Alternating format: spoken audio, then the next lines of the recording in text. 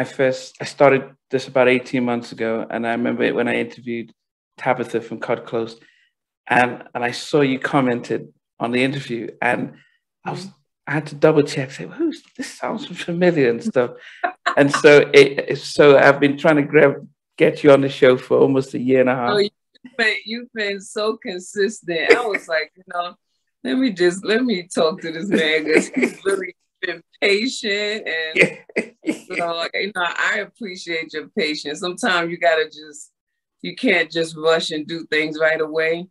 Yeah, no, no, it's totally understandable, and I, and I think over the year, over the time, I've actually had you know a different appreciation. And as I said, I checked out the interview you did with I don't know who the guy is, but you were talking about the mental health stuff. So when I'm not doing this, I'm a therapist, so I, and I, my mm-hmm. patients are under 19, so I work with the young kids, and and so mental health was the reason I started this was a way of talking, just help people hearing inspirational stories.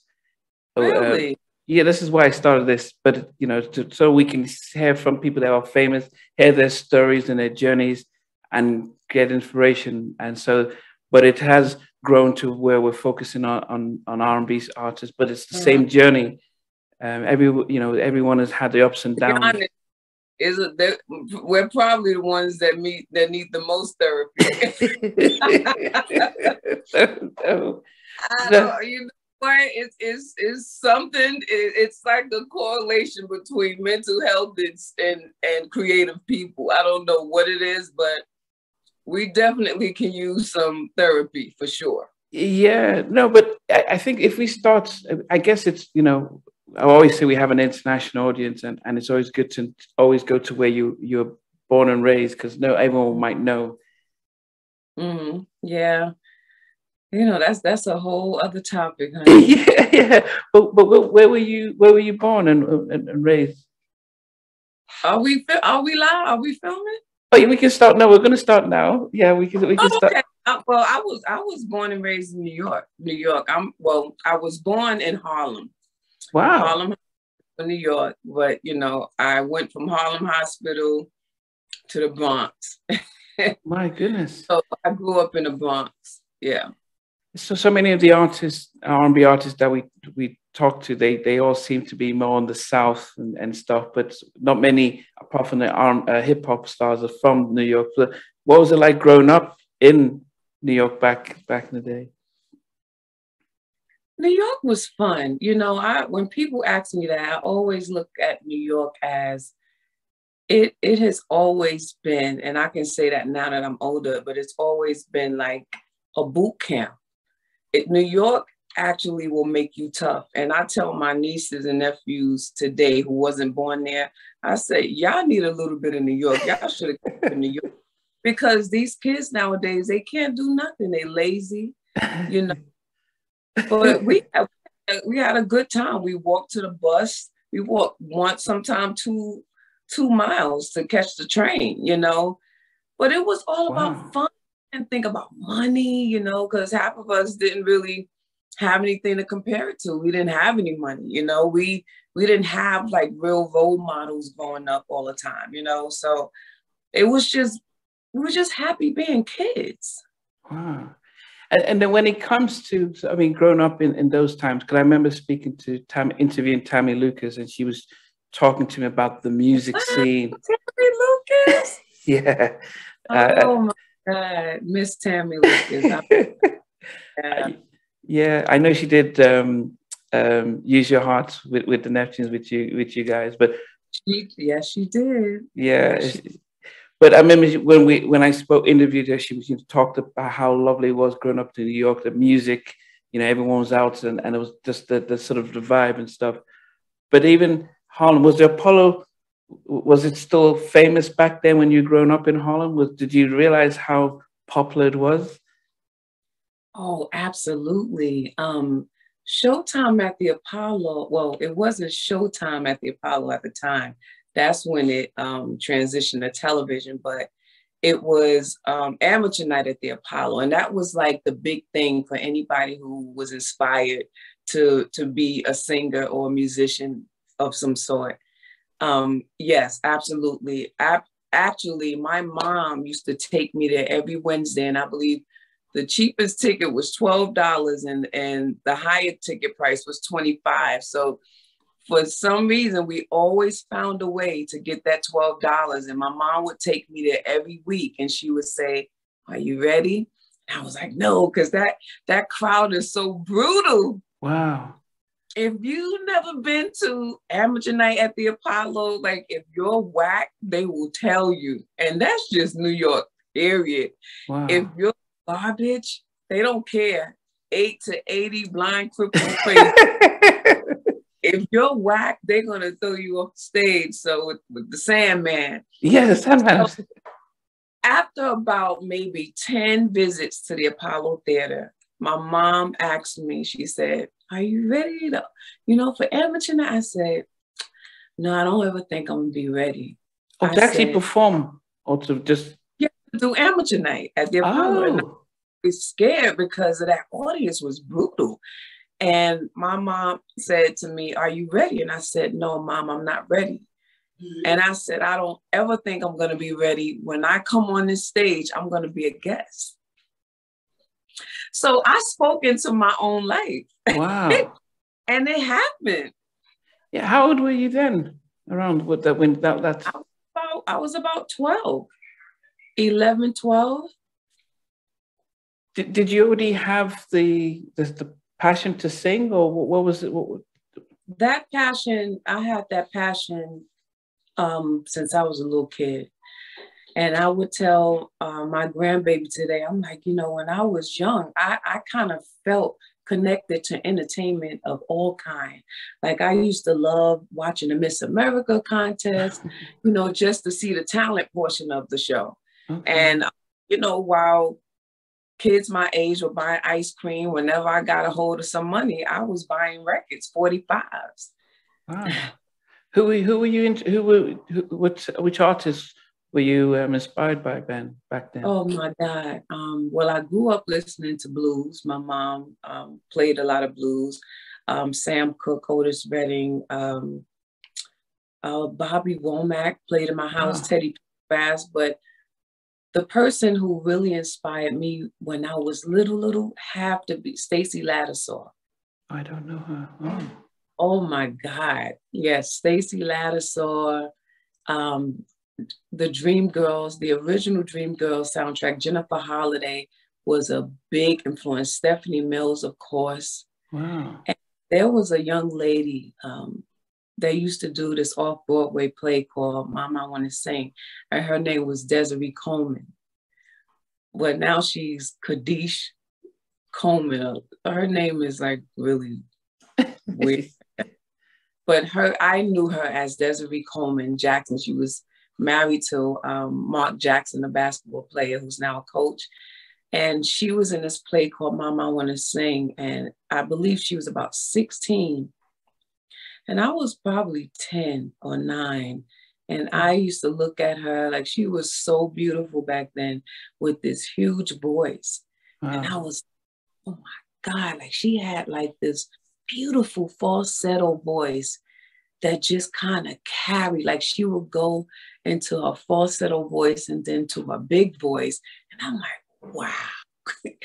I was so like amazed at that. But um definitely a, a lot of people inspired me. And my brother, my brother was like a singer singer. Like he actually did a lot of quartet.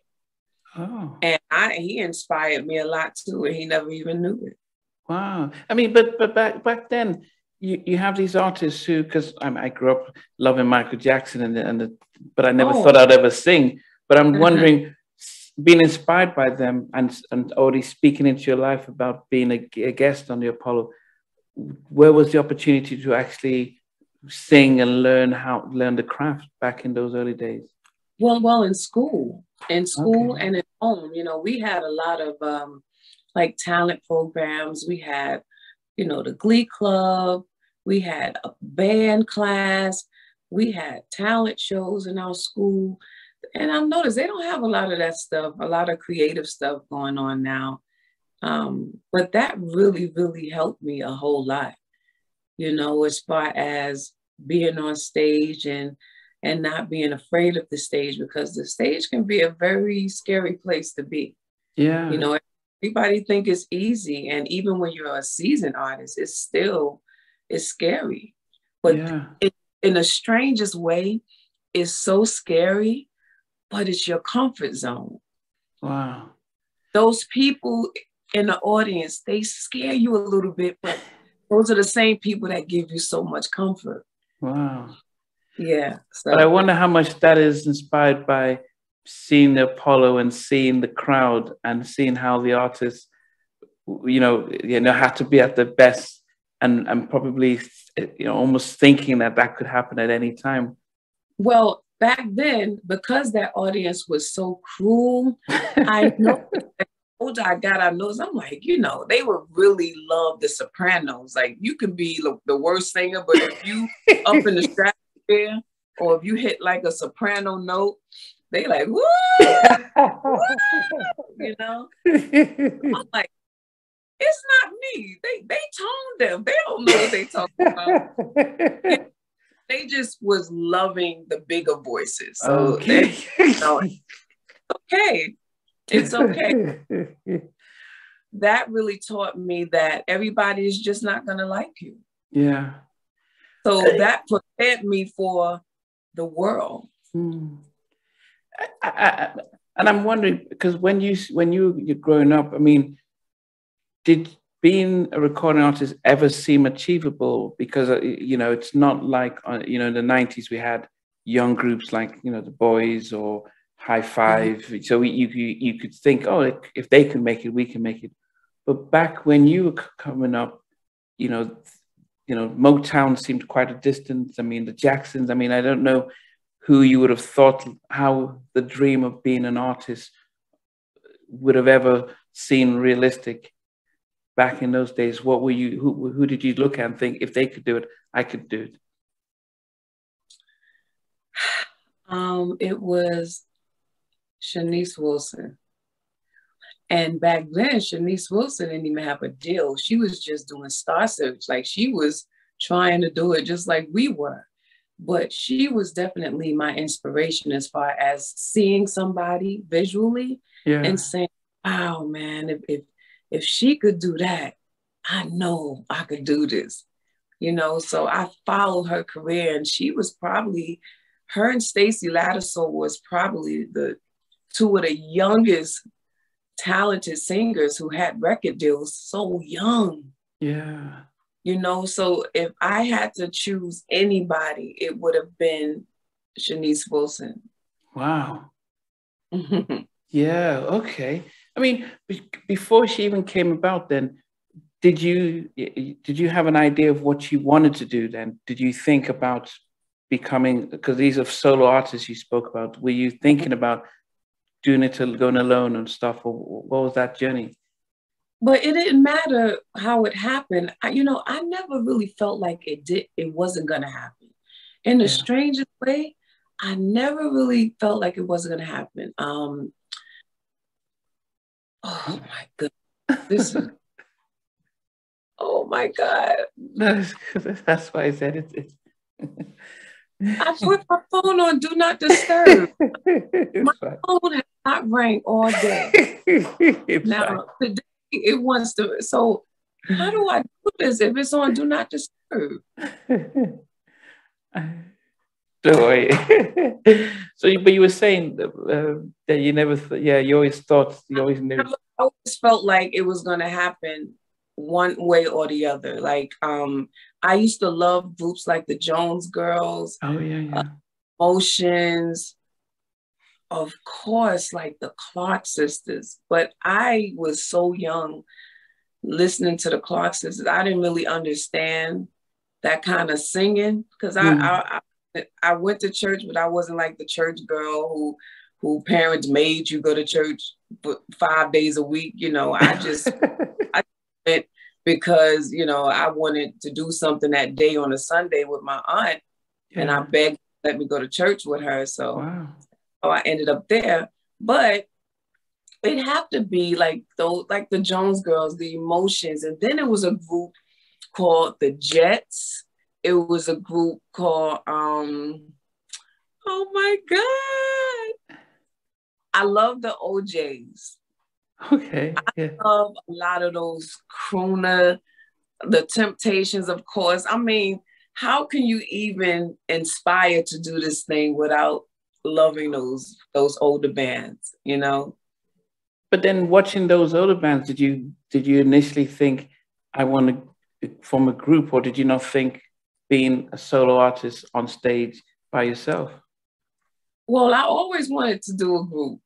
Oh wow. I always uh, because my mom had me all over the place. Like i was singing school and in middle school and it just seemed to be more fun. Like you know in middle school we had like these talent shows or whatever and then they, they would always pair like three people together okay. you know or people over here one person over there and it was just so much fun and you know we're doing rehearsals and stuff like that. So yeah I, I would say that you know? Oh, that's always strange because I, I always would assume everyone would want to be their own star, their own person, and and and and unless you had good you grew up with friends who could sing and you kind of came together i, I wouldn't have thought that would have been not a priority but that would have been a sense of this is how i wanted to go well that's of course that's how it happened but i i don't i think it's it's a it's all a matter of what you want out of it i never really wanted to be a star okay. i didn't look at that reason i my motivation was I didn't want to be poor anymore. I, I wanted to do something for my mom. Like I wanted to change my situation. And plus wow. I was young. You know, I, I was a teen parent. So that was my my fire to wow. want to do something that would make people forget about the fact that I was even a teen parent, you know, because where I'm from, you know, they looked at me crazy and I felt bad. Like I felt bad. I felt like a disappointment to my mom and my family mm-hmm. and to mm-hmm. myself. So I was, I just wanted to do something that made everybody happy and proud. Wow.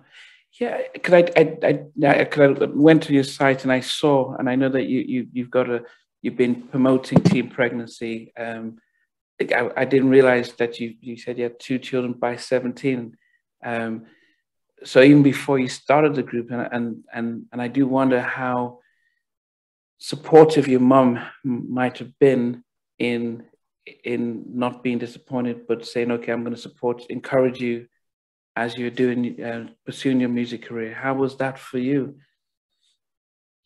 It was amazing. My mom was everything. Like she always supported. Now, when before SWV, I I used to sing with this group called the Diva Girls. I don't know, I don't know where they are, but I was actually the lead singer of the Diva Girls, right? But my mom and we did like this um this Snapple jingle. I don't know what happened to it. I don't know. I just don't know. But that was like the first studio experience I, I ever had. And um my mom has always been there. She's uh-huh. always been my champion. She's always said, You're going to do amazing. Like I was just always amazing to my mom. She just always just supported me. You know, she she wanted her baby girl to, she saw the vision, she saw the dream, she she saw what I wanted to do. I mean, a lot of people with, with you know, I've even spoken to artists who whose parents wanted to create have a, a, career, but when they had the kids, they had them, they put it on the back burner. You were the opposite. I mean, you had two young children at 17, but still were pursuing a career. I, I, what was the drive? And because that's that's a story in itself. But how did you not see having children at a young age by yourself as a hindrance in order to pursue a career that is a challenge to get in on the best of days? Well, I, I'm gonna just put this out here. Like, I am not by any way promoting teen pregnancy um, because every story is not always the same. Mm. Did I have challenges? Absolutely. I will never sit here and say, oh my God, you know, I have my children, you know, and, and I have now I have this fabulous career. It was nothing like that. I spent a lot of days crying, wanting to be with my kids, and I, I couldn't. I had obligations, but I knew that those obligations would give us a better life. Mm-hmm. So I had to choose. When you talk about sacrifice, this industry is a sacrifice. Mm-hmm. It's a sacrifice. Like you lose one thing to gain something else, but you need both. So you have to figure out how to balance. I was a Western Union mom. I would talk to my kids on the phone all the time. I would send letters. I would send cards. You know, um, I would do last minute pop up visits for one day or a few hours just to see my kids, you know. But wow. I'm so thankful, like, I had the crazy support system. Mm. Like, my mom and my sisters held me down because had it not been for them, I probably wouldn't have been able to do what I'm doing. Yeah. Did, did was there any time before you formed SW that you that you ever thought maybe maybe not maybe I just get a job at a grocery store and, raise my kids or was there any? okay. I felt that once I felt like it was happening for real, and it just happened so fast. I was like, oh no, I, I went on running. It was until I got into the situation, I felt like that. okay, okay. But because now I had something to compare it to. Like, you know, okay, so I'm living in the Bronx, I'm growing up, I got two kids at 17 years old. And I got this career, I'm able to go on the road, make a few dollars, take care of my kids, pay some bills. But it's like I didn't really understand business and how it works and how lonely the road is. Like the road is a lonely place. Mm-hmm. It's very. And I spent a lot of my years lonely and crying, you know, because I felt like I there was a point where I felt like I didn't make the right decision. Mm-hmm. wow. But then I have to, you know, it's emotional, you know, when you're used to I'm I'm very close to my family. Like we've always been close. So when you get on the road and it's like, oh my God, you do a show and you go in your hotel room, you're, you're by yourself all the time. Yeah? So I think one of the things that we as fans have learned over the past year and a half is that you guys didn't always live the glamorous life. You didn't. You weren't making make millions of dollars, even though the videos look rich. And I think it's been a real eye opening for us to, to say, wow, it's it wasn't all that great I mean, because the videos and the music always gives us an image of happiness and like, wow, look at these guys. We shocked when we saw TLC and like, well, what's going on? How could they be broke? But I think we're hearing more and more of this. But before we get there, I, I guess everyone would say, okay, you're part of the, is it the Diva Girls? You said, uh-huh. yeah. And then that, that sort of didn't work. And then how did Taj and Coko sort of pop in into your life? well, uh, the, the short version, um, I it was just as simple as me calling uh, Cheryl Coko to and ask her, "Yo, you want to join? You want to do a group?" Oh, but you know? uh, did you know her some before? Oh yeah, yeah. Okay. I've, okay. I've known her for a long time, so um, it was just that simple. You want to start a group, and she didn't think I was serious about it. And she's like, ah, you called me back when you serious. And I, I was serious. So um, I don't know if it's because I had the kids. She didn't think I was serious. Okay. But, but um, actually, I only had one kid. When I when I asked her this, I, you know what? The group was started. We started singing together before I had the kids. Wow. Yeah. So they they've seen a lot. but I can't give you everything because you have to save something for the biopic. Yeah, no, definitely, definitely, definitely. No, understandable. But but so you grew up close to Cheryl or Coko, and, and what about Taj? Was she also in the, close by? Yeah, she was actually um she was uh Cheryl's friend. Okay. And a friend of Cheryl's, her name was Amy, and um, they actually found Taj from Brooklyn. Yeah. Okay. Was it the intention just to have three people, did you not want four like En Vogue, or did you? Was... there's a whole story. We were so many different names. We were um, the Four Shades of Rhythm. We were, and that was four of us. Okay, it's four. And we went from four, like three, probably two or three sets of four different groups with different names. And um, once we was like really, really serious and working with a real producer in a real studio, we named ourselves TLC. Uh-huh. That didn't turn out right. I mean, we got to cease and desist so fast. you will not be that name. So, um, you know, so, and if anybody don't know, that those are our initials, whether you say uh, Todd, and Coko, um. Joe, like those were really our initials. So, um, yeah, so we kind of landed with Sisters with Voices, SWV. Uh, uh, whose idea was it? Our manager at the time, Maureen Singleton. What did you think of the name? Terrible. it's, that name sounded so dumb. It sounds to me today. Sister Voices, like it sounds like it sounds how it sounded to us back then, like like a choir or yeah, yeah, yeah, yeah organization or something like.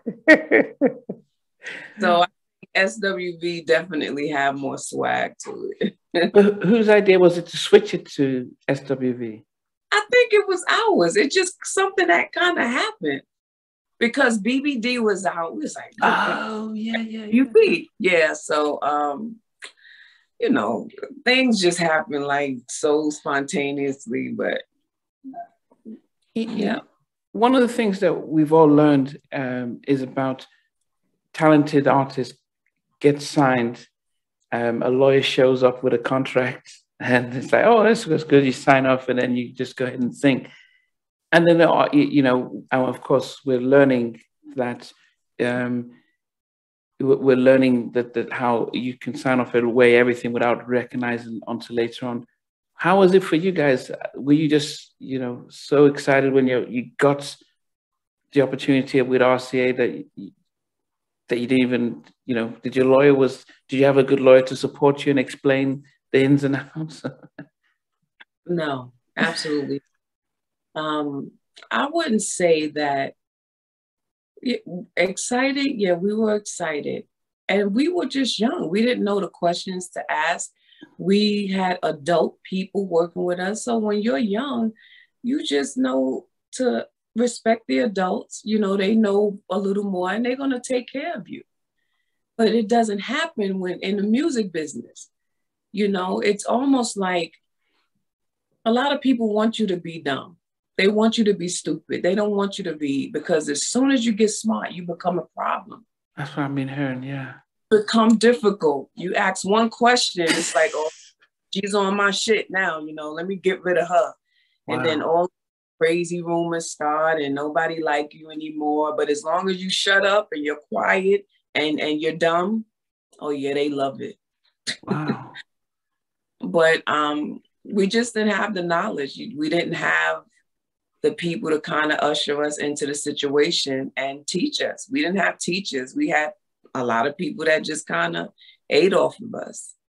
Wow. And we learned by trial and error. So is that when, because you said being on the road was lonely, but at that point when you're on the road and having to do promotional tours, the was it the hardest part before you know the album is out? Is that is that the hardest part, or even after the album's out and everyone knows you? Oh my gosh, it's so funny that you asked me that because I think of how these artists are today and how disrespectful they are to artists like us, like the older seasoned artists, and they be so quick to say old school, and that's fine. But I, I, I look at that now as a badge of honor because it's great. That means that I've been here before. Mm-hmm.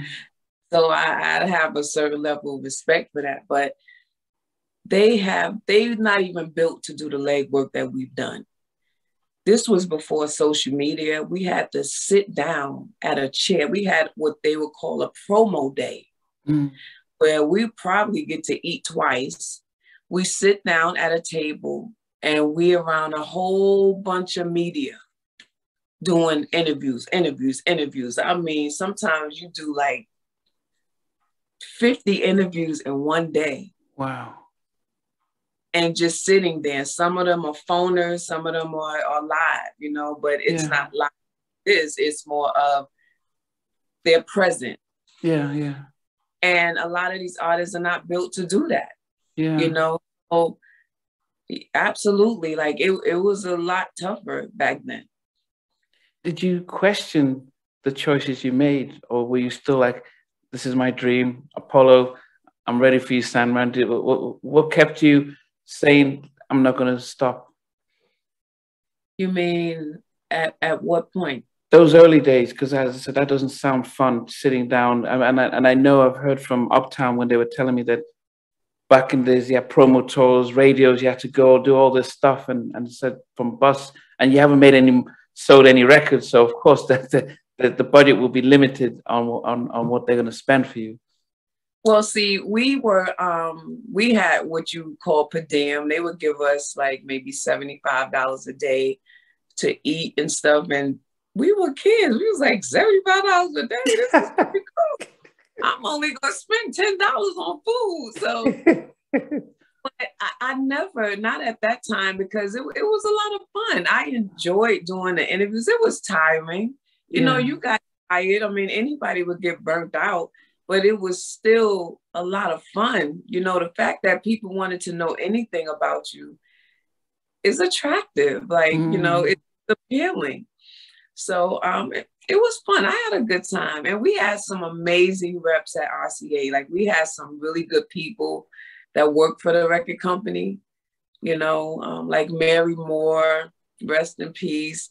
She was so amazing. She was our publicist and you know, we had some really pretty dope people that worked the record, and um, we actually was able to see them work the record. Like we had to literally go to the radio stations. Yeah, okay. Back in those days. Really do the work, you know, and a lot of these artists are not built for that today. Yeah, no, it's it's a lot different. I didn't realize that right um, right here um, was your first single because um, by the time you guys came out, I, I just I went to college in Alabama and then moved to the UK for about a couple of months before moving back to to, to Wisconsin. And but I'm so into you was the one that sort of was on the radio, especially the remix.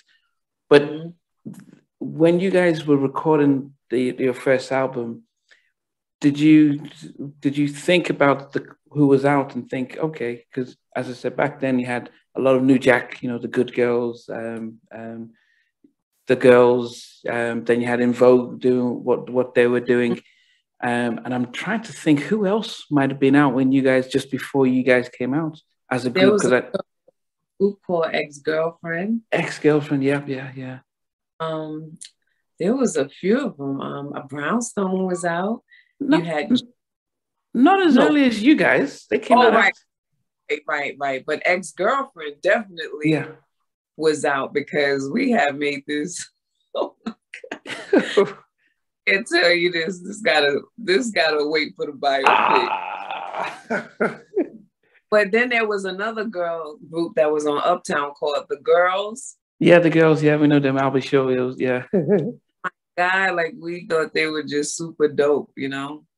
Wow. Do you know Tammy was actually supposed to be in um uh, I think the girls Tammy Lucas. Yeah, she she she was she was supposed to be in it. Uh, but I think she read the contract and she said that no, I'm not not you're not gonna get me that way. So she stuck to being yeah. a writer. well, good good job. but so you know, and, and I've spoken at length with, with Brian, and he talked about you know how the the music and everything. But when you guys were recording um, some of the songs, did you notice that oh, okay, this sounds good. It sounds different than what was on the radio, and that we could actually, you know, make it make a dent? Or did you just? What was it like? Well, first of all, um, I think uh, every song when you you already know what song you're gonna record when you hear it. When Brian's songs were brought to us, it was just like magic. One thing you cannot take from that brother is that yo, Brian is talented. And back then, I think he was doing a lot of club stuff and um, house music because he loves house music. Like he's a connoisseur. And to see how he can do a house track and and then transition into like this deep R&B stuff, I was like, wow, you know, because usually producers are just one way. Yeah. They can wait at this and that's it. But I mean, when we heard Brian's stuff, it was just like a no-brainer. It, it was magic. I mean, you can pretty much see. Mm. but how how much and I and I don't know when you guys before you got signed with RCA, did you guys went to perform? Was it always Cheryl singing lead and and, and the rest of you um, doing the background, or did you guys mix around in, in, with different songs prior to being signed? Well, no, it, it wasn't like that. It was like that when we finally got the deal. Like, and even like demo wise, we were all just kind of collaborate. But Jodeci was out. Okay, yeah, yeah. Jodeci was out, and it was just a lot of dope singers. Guy was hot, yeah, and everybody was everybody was singing like with that churchy sound. Yeah. So it just made sense. It just made sense. It didn't help us any, but I mean, it, but I'm just saying, like, you know, for people to walk around and think you just have no talent or whatever, that's like a bad feeling. But you know, it worked. It was it was how it was supposed to be at the time, and that was that. Yeah, I can't really. I mean, I can't answer it from a, pro, a producer standpoint or the record label standpoint, but I can tell you um, from my perspective yeah, as I said, I've um, I, I know I'd always had um, reservations with intro. And I love body and, and intro. Um, um, same thing with cut close. Even um, not Guy because they did mix it around a little bit. Teddy and Aaron would, would share stuff, but I my worry and fear was always if the lead singer, you know, loses the voice or you know, like Tony in Hi-Five, it makes everyone else vulnerable. And but then I and I do, but I do wonder though in those early days is that if they just said, "Yep, we just want to have Cheryl sing and stuff," they're like, "Wow, we're just in the studio." Do you in those the first album? I'm thinking, do you then question, or you're just like, "Wow, we're just in a recording studio," and it doesn't even you don't consider think about it? I don't even think they was thinking that far ahead because record companies don't care. Mm-hmm. They don't care. They don't care how something uh, makes you feel. They don't care about your emotions. They don't care about how people are going to look at you or how, you know, their decision is going to affect the brand as a whole. They don't care. They just about making a record and making it great and making money. That's yeah. what it was. No one gives a damn about you. Mm. No but how did how was it for you? Because I think a lot of it is, you know, when we're reflecting, is I, I have no idea what it what it'd be like for yourself then, because uh, we all know that you guys are all individual singers, so you wouldn't just just be the mm-hmm. background singer. But what was it like? How did you manage? How did you balance and not actually you think Cheryl was the vil- the, the villain, you know, make her the villain? How how did you manage that, especially being young?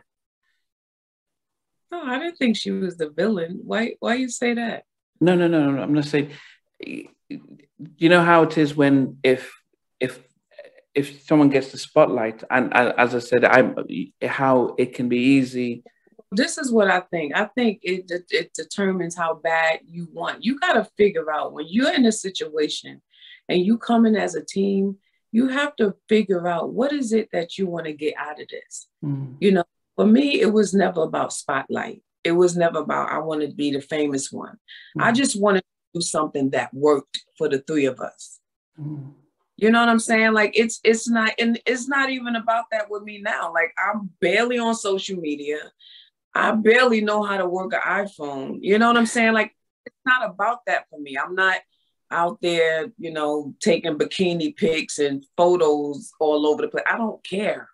Mm. That's not what about for me today. You know what mm. I mean? But um, you know, the sad part about it is that the audience they they gain a perception of who they think you are based on what we show them. And that's been a story, you know. So it's too late to change it now. Yeah. no, but then because we if um because I, as I said, it's I used my favorite show used to be Behind the Music on VH1, and and a lot of times um, bands, especially rock bands, will break up because the lead the lead singer probably wrote all the songs and and or, or something like that or spotlight. But um, it's important to hear that you know back in those days, I guess you guys saw the bigger picture and and and knew that you know being one despite everything was probably the best way to succeed? I will say this you cannot help when you're amazing. Okay. I knew she was amazing. That's why I called her. So when you, it's just when you get in this business, mm. people gotta sow these seeds of discord yeah. and try to make it seem like it's something that is really not. You know what I mean? Yeah.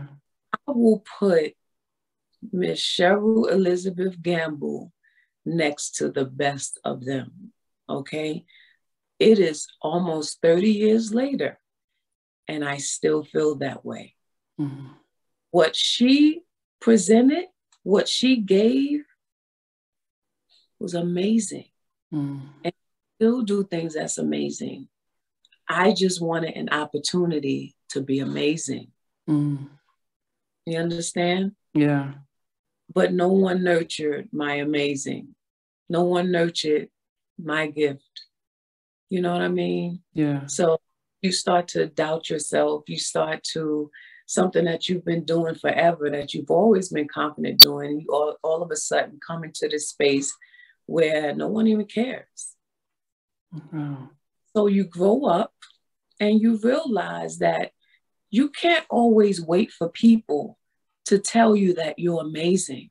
You have to feel it. You have to believe it.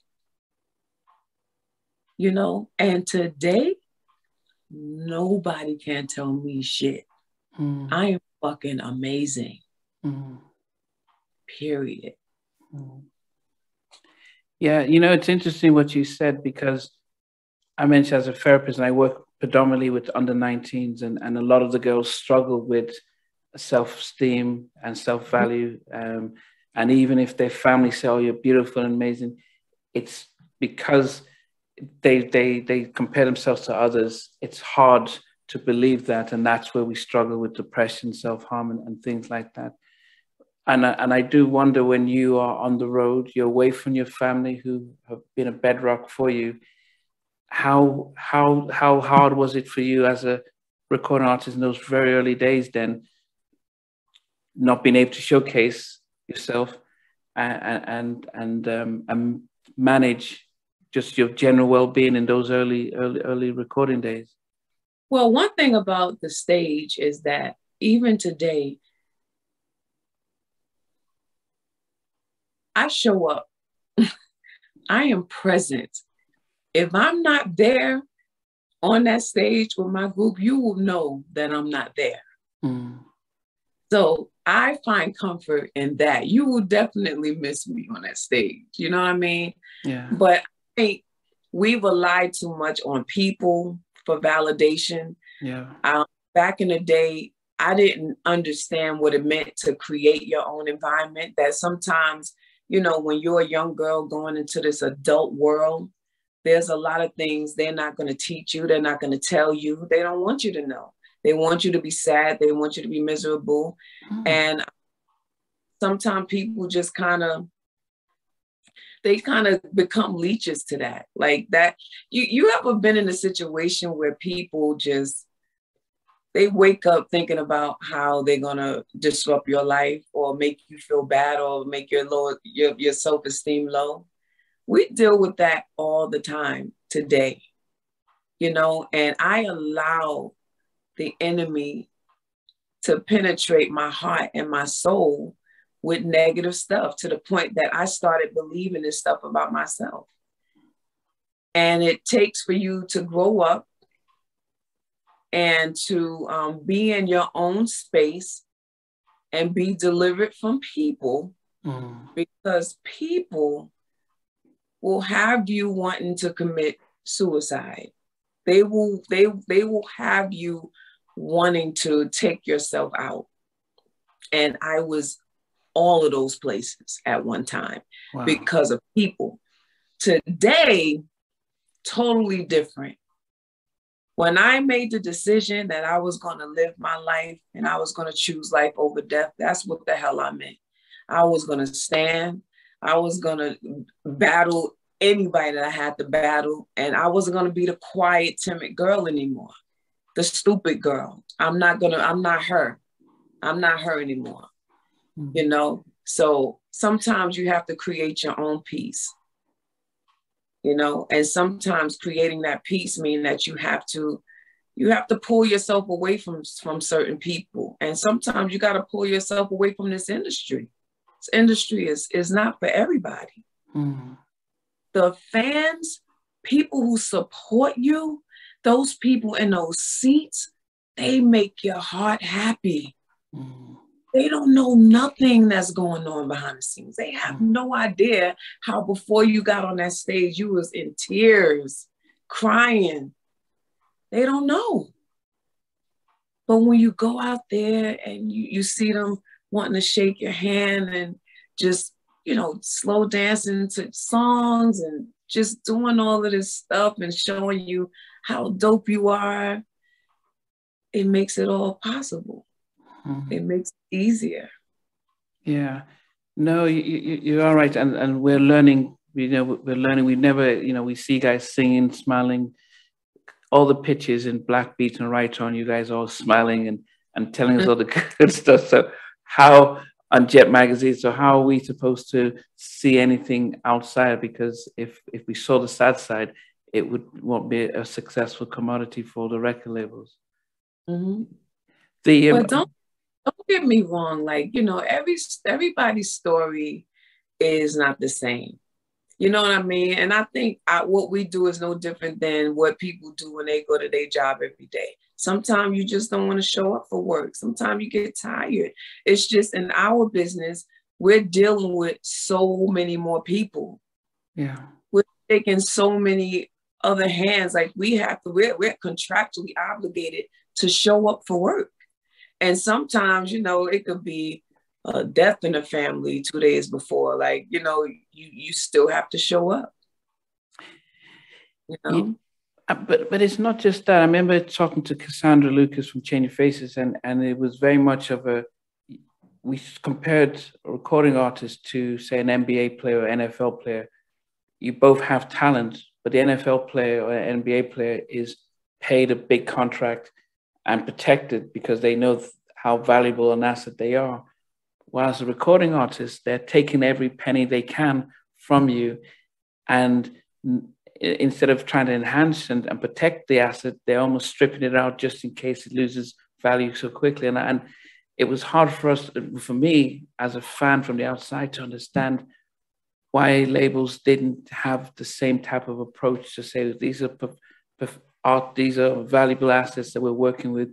We need to make sure that they're paid well and looked after, you know, long-term health insurance and all, all of that. Um, it's hard for us as fans. That's not their job. That's that's not their job. When you sign a contract, you're self-employed now. It's not their job to make sure that you have health insurance. It's not their job to make sure you understand the contract that you're signing. It's not their job that um, they don't, it's not their job to make sure that you show up for work. Like these are things that come along with everything that you're doing. Like this is the life that you chose. And a lot of stuff is trial and error. You don't know you do wrong unless you do right. You don't know you're doing right unless you do wrong. Hmm. You don't know how to do right unless you do wrong because people won't remind you of all the wrong shit you've done. wow. Mind you, but um, it's definitely not an industry that protects you, you know, and that's why you see a lot of clicks. You see a lot of people latching on to other people, you know, to certain people. You see a lot of the same people congregating together. They do everything together because you have to have that to sustain yourself. That's mm-hmm. where your protection comes from people that you know. Yeah. You know? Wow. As far as the exciting parts was, you know, there's a difference between how the 90s was for us compared to, say, the 80s and 70s or even the 2000s. You came out 92, 93, just at the epicenter of when the 90s were just at its, at its peak. You had you know, you, met, you mentioned Jodeci, you know, Mary was blowing up. Um, Jade came out with Don't Walk Away. You know, Brown, so all these groups were, were coming out and it was, everyone was different. You know, there was, it's not, you know, no copycats, you know, um, there was no, you, you knew every artist, every song, and you can like, you know, we could celebrate everyone. As an artist back then, with all these amazing other groups, solos and, and groups, how was it like? Did you feel like you're in competition? Did you feel like we need to show up because Jade or En Vogue's, you know, what, what was it like back in those early days? Absolutely. It's always about friendly competition. Like we were fans of, and still are, fans of all of those groups. But if we on the bill together, you know, I one job to do, and that's the bus they had. I mean, and I'm sure they felt the same way or whatever, but it, it's all in love. It's all like, oh shit, they killed. We gotta go out there and smash. So it's always, you know, that friendly competition for sure.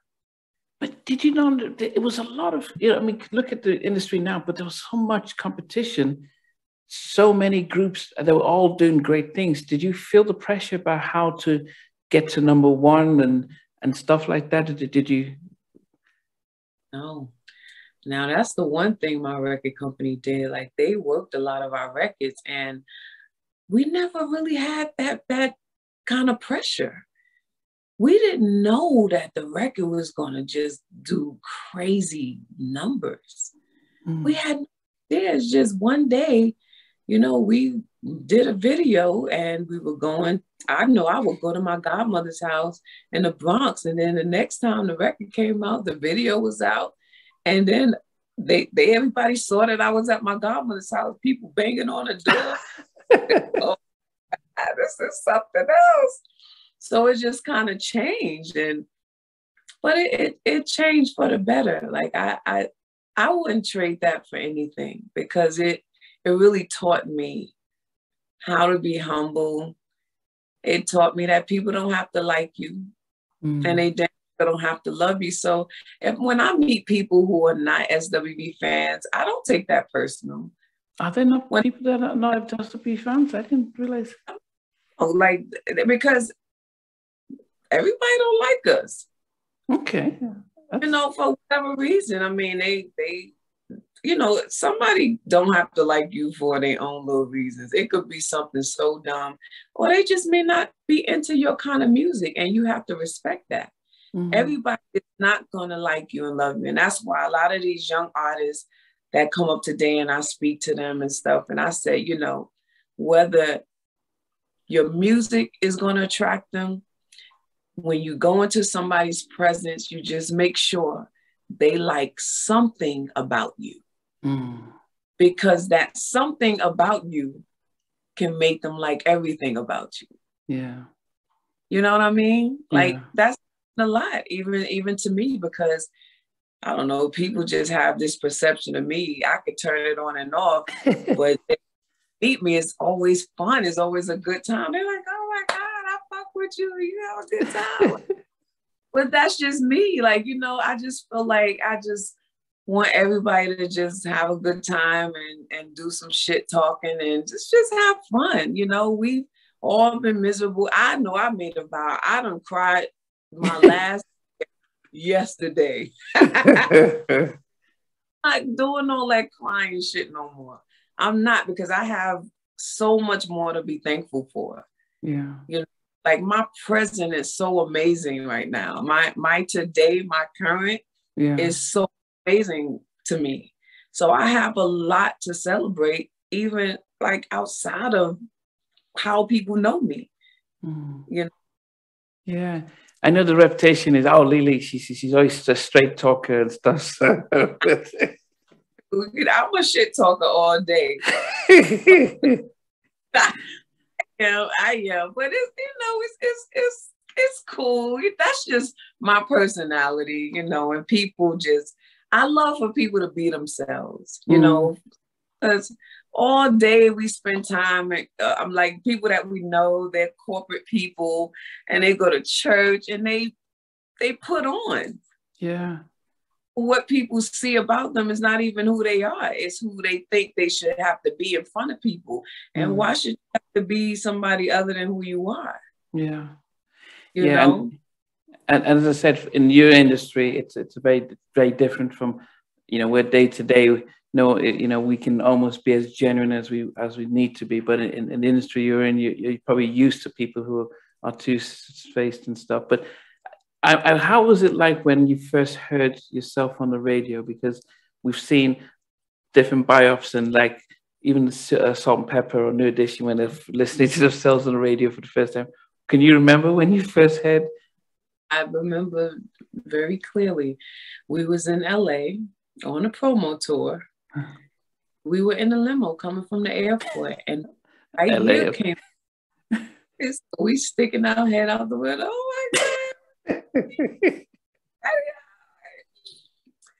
but it's just amazing because you you really you you put in a lot of work in the studios a lot of long hours a lot of sacrificing and now you you putting yourself in a position to finally see if this thing is going to work or not yeah you know and thank god you know it did it did i've i've been blessed to work with two amazing women you know right, wrong, and indifferent, we did some dope shit. You yeah. know what I'm saying?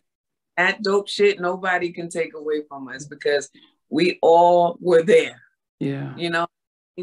So um one thing I love about um, SWV is that we always vowed that we will always keep our, our same three members. And regardless of when we were going through our transition and we was doing a little petty stuff, the petty fighting stuff, when we came back, we came back as three girls who started this thing. And that, to me, that's what it's all about. Yeah. You know, I mean, and you know, thank God none of nothing is because I know a few other groups, maybe somebody has passed away and they, they can't be back there, but yeah, to, keep the core is it's very impressive, especially after that that span of time when the record first came out, I remember watching the New Edition stuff. They were coming back from tour, but going back to the, to the to their homes and stuff. Did Jay did RCA move you guys into you know Manhattan into penthouses, or were you still back in? Your... Um, RCA didn't move us into shit. Everything comes with a price, ladies and gentlemen. Okay, they didn't pay shit. I paid Okay, so before I got my my uh, the condo in, in Jersey, I stayed at the Renaissance Hotel in Times Square. Wow. That's when I learned that um, everything comes with a price. They wasn't putting me up in shit. That was a bill that we had to pay. Wow. And I stayed there for like three months. And no one told you that this no one tells you? No, they don't tell you shit. They don't tell you nothing. They don't tell you nothing. You just find the only person that tell you anything is your accountant. Because one thing you're gonna tell you, your ass is broke.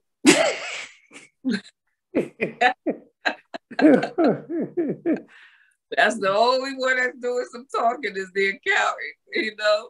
Wow. But nobody don't tell you nothing. Wow. It, it, it's it's it's it's hard for us, as I said, as, as fans, to just to see how you know young talented people just get no with no no you know you think someone like you know um, Brandy um, whose mum or Usher you know they have parents who or even Beyonce and Destiny Child when you have parents they know what's going on. They they sort of look after them. But that's very rare to have not too many people like that. But see this is the thing and, and I'm not um I'm not trying to diminish anybody's character at all. But sometimes when you're coming up in a profession like this, the people that brought you in, they don't know no more than what you know. Mm. So that's part of the problem as well. You got a whole lot of inexperienced people who are just ignorant to how the industry works and how paperwork works. You know what I mean? Mm. Like we weren't, we didn't know back then that we got to get a lawyer to watch this lawyer. and this account to look over this accountant's books, you know, like we didn't know, we didn't have that lesson back then. Wow. So thing is literally trial and error. And when I look at these artists now and see how much money they get, I'm like, shit. we came out too early. yeah, you know, like, yo, they getting paid. Yeah. But I love it though. Like whenever I get an opportunity to tell somebody these stories and these lessons that I had. I mean, I, I wrote a lot of the stuff in my book as well, but um, I love it. I love to see the new artists today that's just doing a thing, man. They doing a thing, and if if you've been following me, you know I love me some her. Like I yeah. love her. That's my little baby, and I just see her just. She's just blossoming. Mm. Just be position yeah. She naked. She ain't selling ass. Yeah, yeah. Just getting paid to be a musician. Yeah. And that is heard of nowadays. Yeah. Do you remember when when you, you, sat down with Donnie and, and you just you were promoting downtown and he he said, Oh, you guys are church girls and what are you singing about? And and and it almost feels as if you didn't realize the song that you've been recording. No, I knew from day one what that song was about. that story came from, but I knew what that song was about, trying to figure out a tasteful way to say it. so I, I ain't got nothing to do with me. I know, I knew what that song was about from day one. but, but but then did you guys have a choice in, in, in you know when, when you hear the song just sing it or did could you say anything or were you just like well this what was it like for being young recording artists and hear the, the labels are bringing these producers with these tracks? Well i think we had a, um, a hand in picking the songs because we never really do songs we don't like most of the time and then sometimes artists really don't know what they're talking about because um, there were songs we didn't like, and those songs went like bananas, you know? They went bananas, and right here being one of them. okay, okay, okay. I, the remix for um, um, Human Nature remix, um, I remember um, interviewing Mucho, uh, Mucho Scott, and he was at Future and he says, "Yeah, you guys all came down, um, but you guys weren't really feeling it and stuff." Um, it, what, I mean, one of the you know biggest singles in the '90s. But what, what did you like the original and didn't want to mess it up? I love the original. That I don't know was you know being from New York City is something. Ah. Everything was about this. You know, if you was bopping and do that, then yo, that is gonna work. Like it's dope. Yeah. But song, even today, is so boring to me. I mean, definitely a song that you could enjoy on the radio, but it's not one of my favorite songs to perform. It's so boring. even today is just boring to me.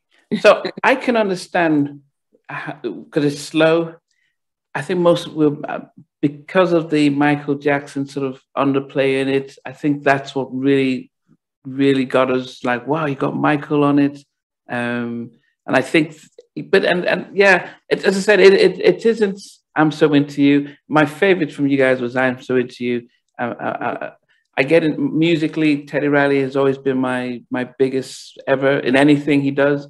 And so when mm-hmm. I got the remix that he did with um, Wreckx-n-Effect and the whole check one, check two. I mean, I love love that single and stuff. Um, it's dope. He's dope. Yeah, and, and so I mean, and I, I know All Star also did did did did some tracks with with you guys well, but I, I did love those types, those the remixes, um, because it it showcased, it really took the song, you know, not taking anything away from the original, but it, it really took the song across to people who didn't really hear the the first oh, one. Yes, for sure. I mean, that song took off. And our A&R at the time, his name is Kenny Ortiz. He really, he shut us up on that one. Like he, if there was ever a time we were proven to be wrong and we need to shut the hell up sometime, moment because you know, as artists, we we always like to do things that we like to do and we want to do, but we never like we we don't think about the business side of it. And wow, you know, we can build this audience and we can gravitate towards this audience, like and and make it not just like a our record, but an everybody record. Yeah, yeah, yeah. So, and that's what you said should definitely have in mind when you go in the studio and record songs. You want a record that everybody can sing. Can enjoy, yeah those records are the records that win. Yeah, yeah. Simplicity yeah. always best. It it always works. Like yeah. you got best singers who can't sell records because no one can sing like that. mm, yeah, I mean that's probably how I got into you guys. Is that I'm I'm so into you. Just like you know, anything Teddy did, I bought, and and and you know that that that's how I I, I got in it. I I do wonder then. Um, when was it like going back to the Apollo for the first time? Because here's your here's your 80 year old person who has totally prophesied to your mom, I'm going to come as a guest. Can you remember the very first show you did as part of SWV? Mm. I believe it was a actually it was Jack the Rapper. I want to say Jack the Rapper was the first. That was a big music convention in Atlanta. Oh yeah, yeah, back yeah. And um, that was the one of the first real performances that we've done, you know, and it was just I I never forget Jack the Rapper because all the record labels had their artists there. So it was like one big party. Yeah. where each artist, each record label like um, rented out a different room in the hotel. Mm. And the artists would show their artists would showcase like um Uptown MCA would have their their um or their room. RC will have their room where be SWV, Chantay Savage, and oh, there was a, a girl group on our label as well called Black Girl. Oh yeah, I'm a 90s girl. Yeah, I remember that. Yeah. Girl, yeah. And they were super dope too. I ain't gonna front. But they were, oh, they were dope. They yeah. were really and um but we were just two different groups. Like, you know, you can't you couldn't take us we was gonna take the Bronx and Brooklyn wherever we went. they like I just feel like it's so important to rep where you from. Like people get on me because of the way I talk. I'm not corporate. I'm not none of that stuff, but I can I, I can transition from talking to my friends to talking to somebody who is unfamiliar with where I'm from. You know what I mean? Yeah. So I love that. I love everything the hood have to offer, honey, because that was my stomping ground. Yeah. That's how I learned a lot of my lessons. What about when you first went back to Apollo as a guest? Can you remember that? When I first went back to the Apollo as a guest, absolutely. Um, I think we had on, oh God, think we had doobies in our hair. I had beige jumpsuit, some beige overalls. Oh, that outfit was so well, yeah, it's exciting because I was like, oh my God. And then, you know, the crowd, just knowing that the crowd wasn't going to boo us. Yeah. so it's this thing when you go on the, the Apollo stage and you like a guest and they're excited about you, they jump up immediately. They jump up right away, you know. So I love just the energy. It was amazing. It was good. It was really good. Did you did you get did your mom come to see at the Apollo? My mom was at the Apollo for that particular show. Absolutely. Yes, she was. Did she remember yeah. what you said when you were a kid? Did she did... Oh yeah, she remembered. She remembered. Wow. Yep, she remembered. And my mom lived long enough to see that come to pass and she died. Oh, when did she how long ago did she die? My mom died two years three years after we um after SWV was born. Wow. Wow. Sorry. Three years after that Apollo Theater performance, our first Apollo Theater performance, my mom passed away. Wow. Mm-hmm. How did you manage at that young age? It was hard. I had to go to the funeral and go back to work. You know? Wow did, did you get any emotional support and therapeutic support from the labels and management? And oh yeah, okay. now that is support. some this sad somebody got to die for them to to feel some type of compassion for you, but you know, yeah, absolutely. And I'll never forget. I have this beautiful story about Heavy D, right? Heavy D was the first celebrity that sent me flowers when my mom passed away. Wow. So I will always remember Heavy D. When I tell you he sent the most beautiful flowers for my mom, they had they couldn't even fit all the flowers in a funeral home. It was just wow. beautiful. Wow. Did a lot of people reach out to support you within the in the- well, uh, yeah, yeah, but not not a lot, you know, because we didn't have the access we had back then. Like everybody didn't have your phone number. I didn't have a phone number. We had beepers. Oh yeah, beepers. Yeah, pages. Yeah, yeah, yeah. yeah. Didn't have cell phones. We had beepers, and you know, the sidekicks was popular at one point, and yeah, um, a lot of people didn't really have my phone number. But of course, through my coworkers, they kind of sent their condolences yeah. to me and I received it, you know. Wow. That's no, as I said, but and and and but you still had your family support to look after your kids while you're still absolutely for sure, yeah. Yeah. Mm. You know, I know when you when you guys did um went to New Beginnings and you the production changed, you got different producers and stuff. Um was there any concern about losing your, your fans because who got used to the sound you had in about time and when you you moved you had um, did you did you have anything with puffy was that um, with puffy and someone, someone, someone. yes yeah so it, it was a sort of different but it, yeah it was sort of different i mean i still had all i bought all your albums but i'm just wondering did you want worry about uh, fans might think, oh, this is not like Weak and and and uh, and our first album. No, no, because um, when you when you're creative, you want to do just that. You want to be creative, and it's almost impossible to recreate something like Weak. You know what I mean? Like we already gave you that. Now it's time to move on to something else. But of course, I don't think we ever strayed too far away from what the fans enjoy.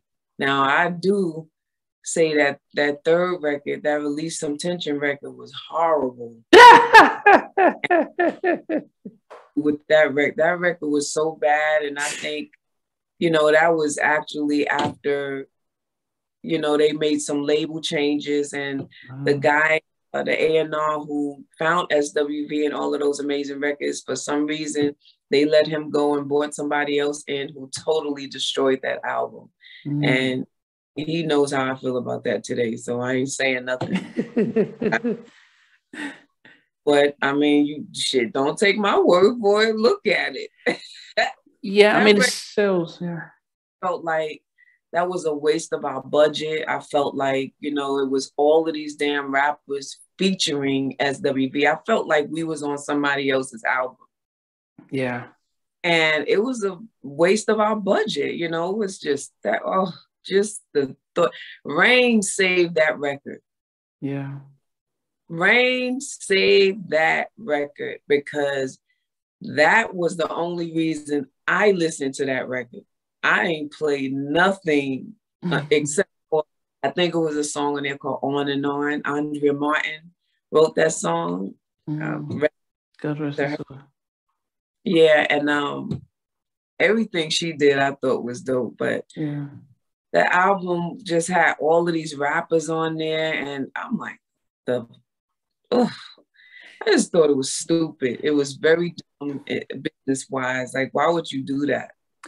you know, and and you know, and you know, you know, I know we all love Redman and and, and the rest, but I know that it it's it show it's it was the prelude of what happened to R&B, where they started to put more hip hop, and hip hop almost became okay, because you guys almost pretty much ushered in the fact that we get a hip hop artist singing R&B, and we get the R&B artist featuring, because that then became the norm, which it's still unfortunately the dominant part then. And and I think that's more and more we lost the essence of, of you guys with, with, with a lot of those tracks that were that were being pushed out. And mm-hmm. um, and yeah, that that that was a, but but you couldn't fight it. You you know it's hard. You know I think we would wonder if you guys could could fight it or do anything. You just had to accept what what the label what they how they spend the money. I mean, pretty pretty much. I mean, you can give them a hard time, but for what? When they have all the control. Okay, you want to give me a hard time? We're gonna push this record back. Yeah. So we don't have a record, we don't we can't tour, we can't make money. Yeah.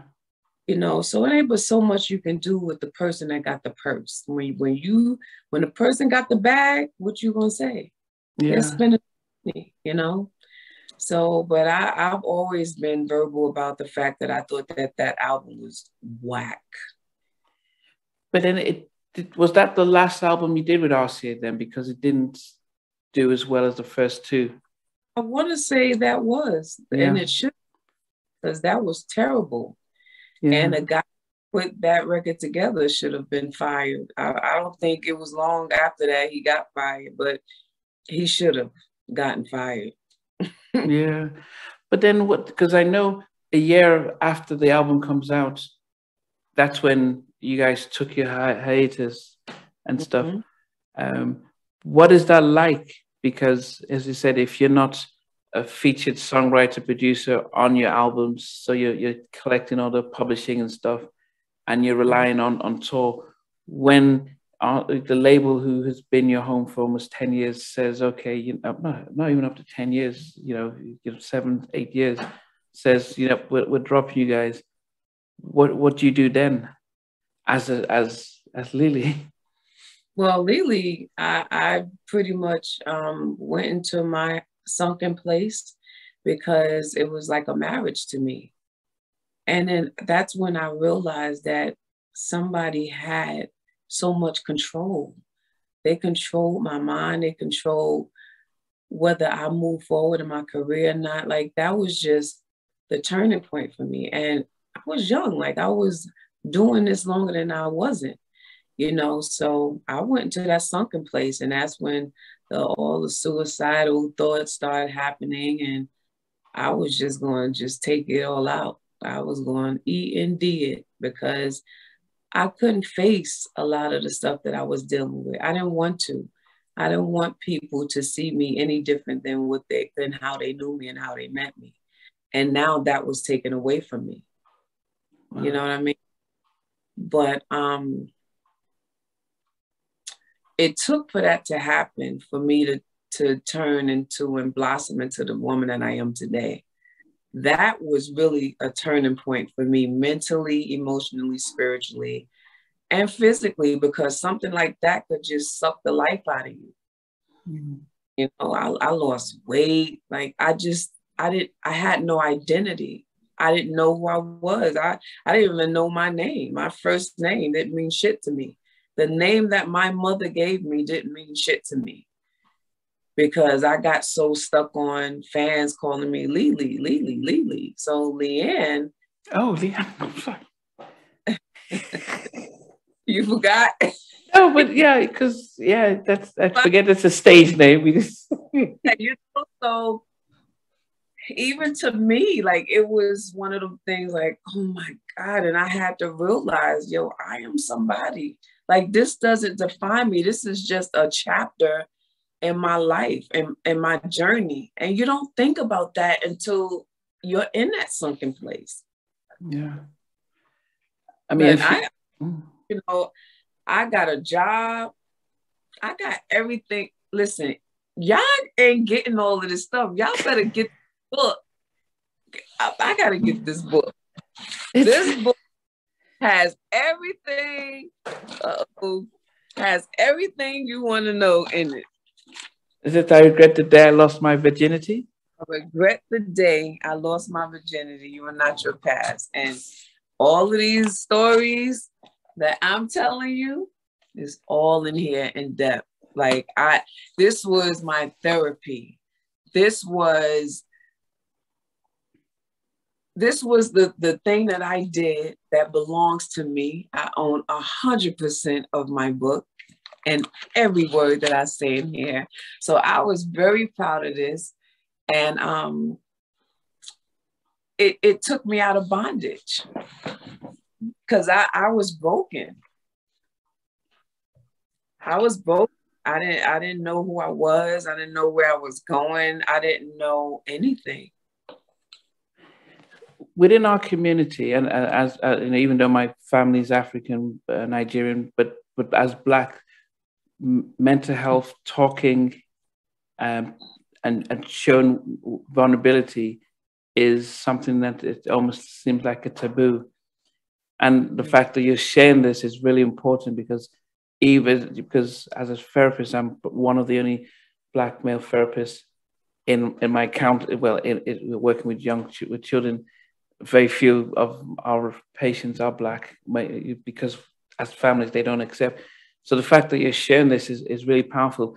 But how did you get? Who helped? Who reached out to pull you out of that? That um, because it's you know most of us, you know, the industry you worked in, it they're cutthroat. Friends might have been. You might have tried to hide from people, mm-hmm. who, who, and your um, and your your your rock and as of, of your mom had had passed. Um, did who reached out? Did you have who who could you turn to? Well, I've always had my family to turn to, but a lot of things that was going on with me, my family didn't know about. Wow. They had no idea, you know. So I had to deal with this stuff alone. And I I made up my mind that this was going to be the day that I checked myself out of here.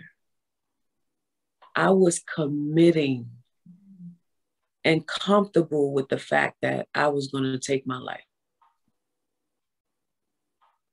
And um, I remember making one, two calls. I said I was going to call my sisters to to tell them to just, you know, I love them, take care of my kids. And um, my sister didn't answer the phone the first time.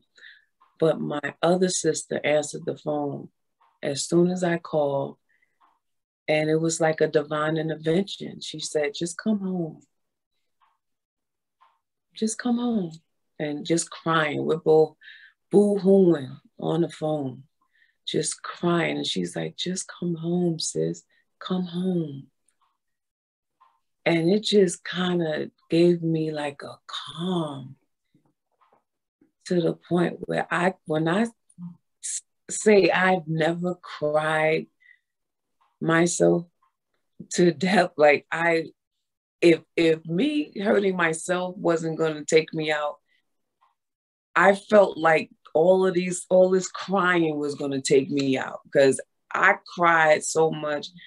My whole body was dry. Like I was so dehydrated. My mouth was like foaming and it was just crazy. But I, there was a light at the end of that phone call. It was a light at the end of that phone call. And I chose life. I chose to live. And at the time, I was staying in a hotel. I ran out of money. I couldn't afford to get another day at, at the hotel, the Marriott Hotel. That's why I love the Marriott to this day, because in the Marriott have a connection. you we have like, yeah, you know, you know what we went through Marriott. but um, yeah, so I went back in that room and I just I literally beat myself up. Like I I cursed myself out. How dare you? You you're gonna do something so selfish. You you fucking coward. Like you you just making you know you're making the devil happy by doing all of these things and you and your thoughts are crazy and you weren't raised this way but you just want to take yourself out. You're weak you're a loser. Like i was saying all kind of shit to myself in the mirror. Like i was literally looking at myself like you're a coward just crying. And then the cry ended up being it ended up turning into laughter. Wow it became funny. I'm like, what the hell was I thinking? And that's how I know that, I don't know, the presence of God to me is, is so real because my dark moment, I was just dark 30 minutes ago. I wanted to check out. And now I'm laughing. I'm, I'm smiling. I love who I see now and I chose to live. When I walked out of that hotel room, it was like I never thought about anything that I was thinking an hour ago. Hmm. Because when I said out my mouth that I'm cho- I'm choosing to live, I've got a lot of shit to do on this planet before you know God take me home. Like I ain't gotta take myself out. God is going to help me out with that, but at His time. That's what it was for me. And my life changed instantly. I got a job. I went home, like my sister said. I, I spent the night at her house. I was staying with her. And the crazy thing was, I wasn't making the money that I was making when I was with my group, but I was making 10 $11 an hour, but I was so peaceful. And that's why I always tell people who complain about their jobs you do what you have to do until you can do what you want to do. Stop fucking complaining because your shit can be different. Your story can be a lot different. I went through making money to making $10, $11 an hour. I have no car. I did a voluntary repo. I took everything back that I felt like didn't belong to me honestly. Like I'm like, fuck this car, fuck this, fuck that. And you know, I didn't care. I'm like, if God had blessed me the first time, he'll bless me with it again. And he's done that over and over again. But you have to speak life into your own situation. And that's what I did. That's what my mother did for me, and that's what I did for myself. And that's when I I realized that I was dope. I was amazing. I it, it take an amazing person to be ridiculed in front of a lot of people, see you working at an office job and they just call your extension just to hear your voice because they the superstars ha, has a job now. You know, she ain't shit no more. She's just like us, which I've always been. But it didn't matter what they were saying because I was at peace. I knew how much money I was going to make. I knew what I was bringing home. I knew if I bust this clock down and I put in all this overtime, what I was going to make. So I started slowly. I said, okay, I ain't got no car, but the first thing I'm gonna get is a car. So I busted. I was doing 18 hours, 14 hours, like at this job. And every two weeks I got paid, I was able to do something different. The first two weeks, I was able to get me a car. It was a piece of shit, but it was a car and it was a blessing. And I got it. So I knew once I got that car, the car was going to get me to my money. It's going to get me more money because I can always drive the car and push come to shove. You know, you lose your place, you can always sleep in your car. And that's why I tell people today, like, cars are special. I look at cars different. That's why I always buy a truck. Never buy a truck because shit, if shit go bad, I'll sleep in this damn truck. wow. you know, but you know, I can laugh about it now and um because I'm free. I'm free from it. And that's why I don't mind talking about it because I need to free somebody else mm-hmm. and let them know that they are not their past, like they are strong. And don't always look for people, for validation in people, because you may never get it. You may mm-hmm. never get, it, you know. So so I've you know I've, I've had people call and say they're just about to walk to a train station and jump in front of a train, and I've had to, you know, and and yeah, and I realized back in those early days when I used to do crisis, you can't tell them, oh, what about your family? Because when you've made up your mind, family, kids means nothing. You're almost thinking they acted, they're going to be better off without me. Yeah, yeah.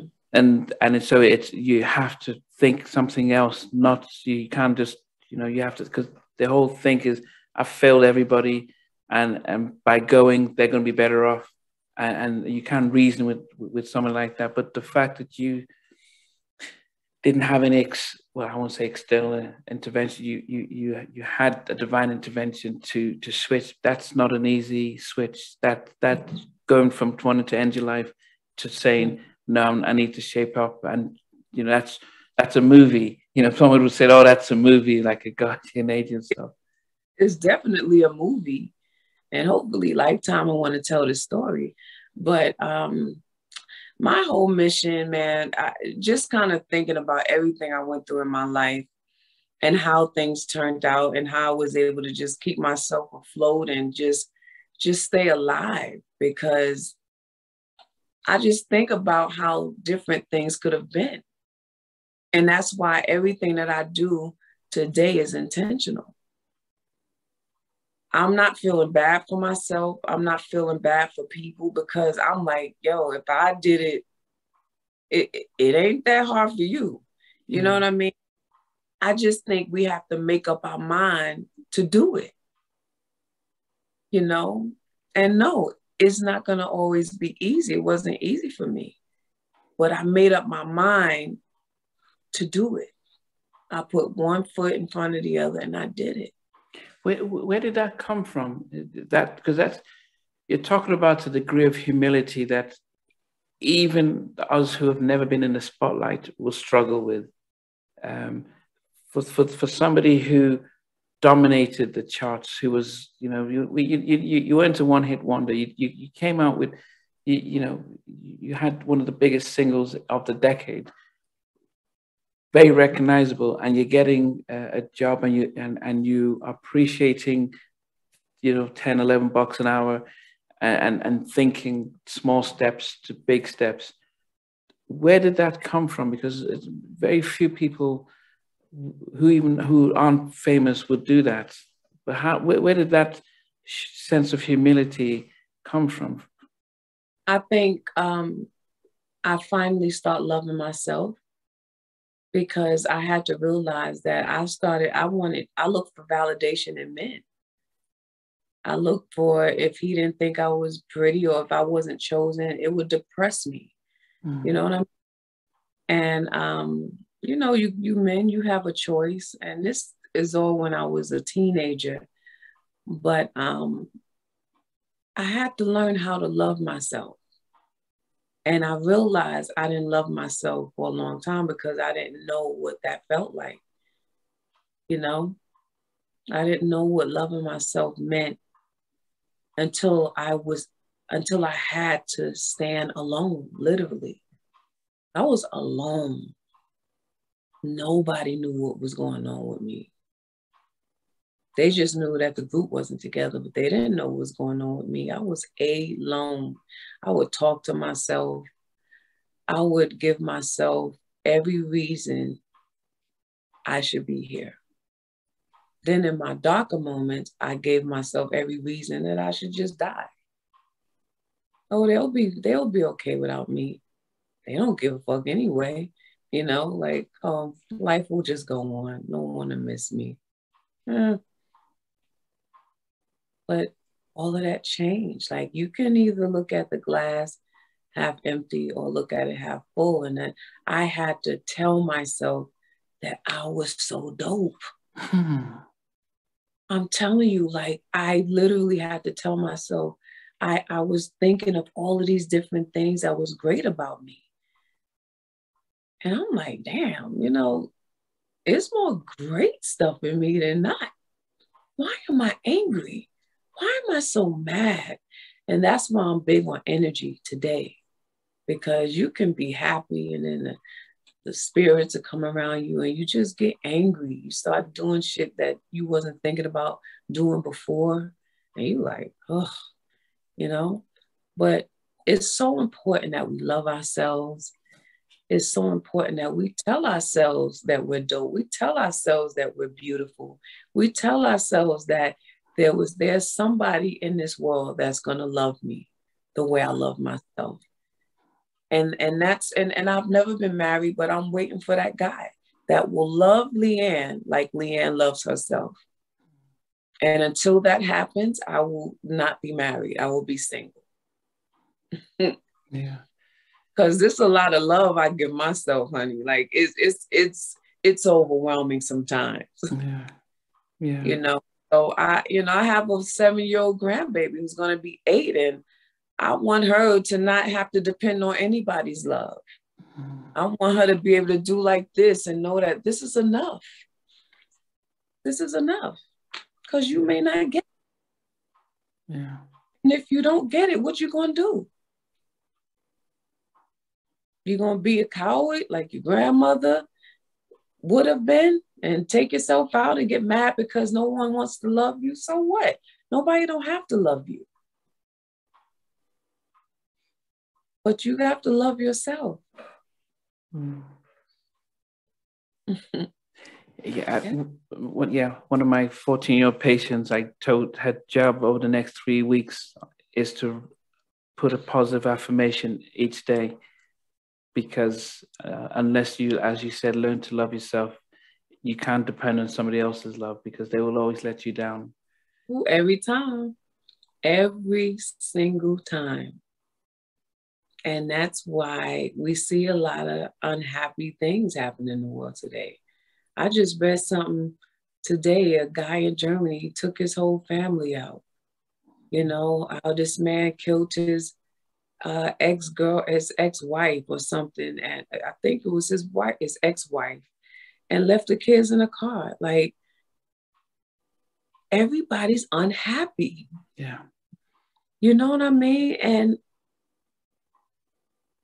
what are you going to do when you get unhappy? Because we can always, you know, eh, create an environment where we're, ha- where we're happy and things are going well. Well, that's not life. Things yeah. are not always going to go well. So what are you going to do when it when when you no longer have no nothing to laugh about? Or smile about. Or you don't have a, a pretty song to sing. What are you going to do? You going to mm-hmm. check out? You going to make everybody else miserable? No. Sit down and take a minute. Maybe you're moving around too much. Just sit still and figure out, okay, how did I get here? You have your own answers to your own questions. We just don't ask the questions. Yeah. Sometimes we are afraid of ourselves. Yeah. I, yeah, I can imagine your mom being very proud of how you know you you you were able to figure it out for yourself, and and because as I said, um, I've worked in mental health for a long time. It's not as easy, but taking the steps that you've shown. It, it's something that I wish everyone, especially mm-hmm. those who are watching who are in the black community, just to understand that, yeah, you know, it, it's, you know, reaching out for help, admitting that, you know, things are a struggle and taking stock. Um, because yeah, it's hard, you know, yeah. Very hard, but you, but you have to just speak, speak it into your own life. Yeah, you do. Wait on people too much. Like we depend on people for too much. We give people way too much credit. Yeah. Way too much credit. Yo, let me tell you, if I'm dating somebody, he decide he don't want me no more.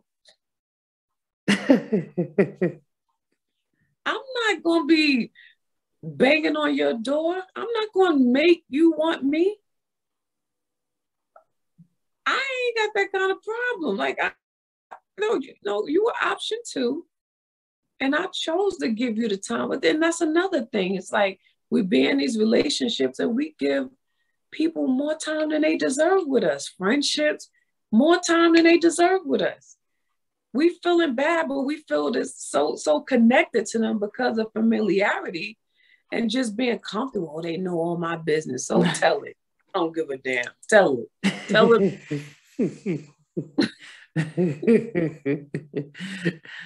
oh goodness. yeah. You have like so many different reasons why we hold on to shit, you know.